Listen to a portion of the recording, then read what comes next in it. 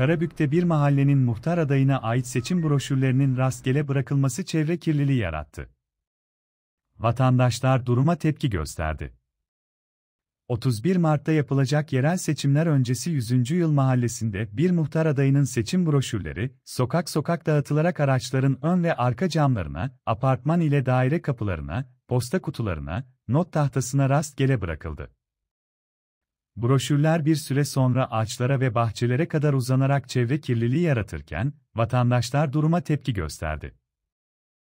Broşür rezaleti cep telefonu kamerası ile görüntülendi.